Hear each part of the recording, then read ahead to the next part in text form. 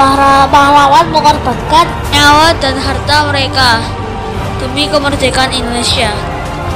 Tetapi, apakah perjuangan kita dapat dilakukan di masa ini?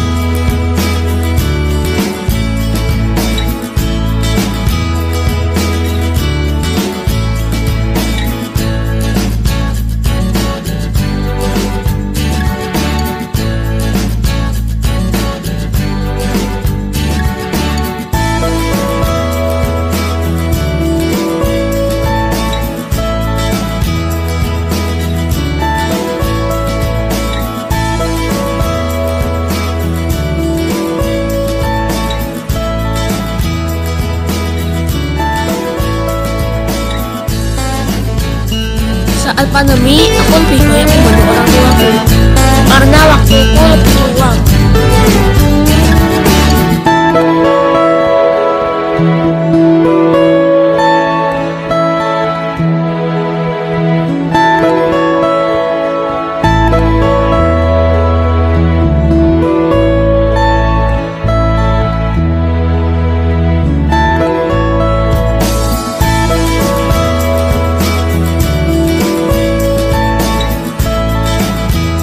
Akhir-akhir ini aku belajarnya di rumah karena sedang terjadi pandemi COVID-19.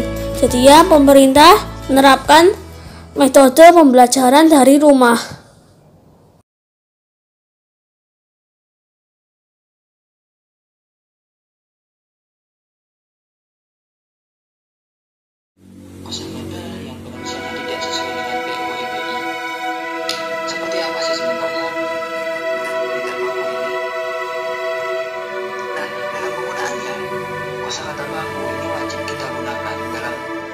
Tulisan atau percakapan pada acara-acara formal seperti rapat. Ya, ingat, kosakata baku itu saat acara-acara formal atau tulisan-tulisan resmi. Ya, Sedangkan kosakata tidak baku boleh digunakan dalam bahasa percakapan sehari-hari seperti saat Tetapi belajar di rumah Ya. bukanlah hal yang mudah. Kita masuk ke Aku tidak mulai teman di sekelilingku. Bahkan aku terasa sendirian di dalam ruang kelas. Walaupun aku ingin keluar, tapi pandemi ini belum berakhir.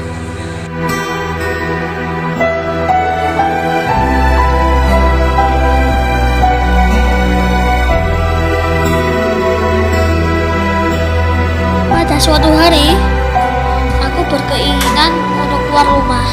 Tapi Mau ke mana Mas Atan?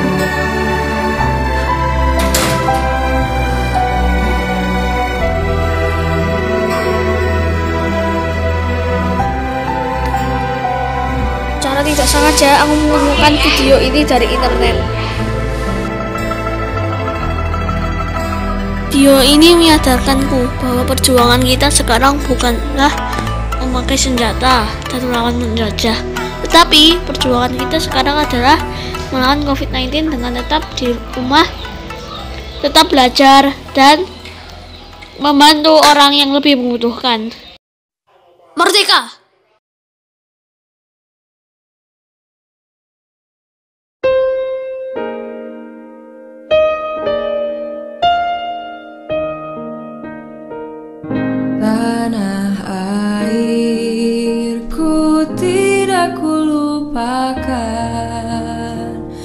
Kan terkenang selalu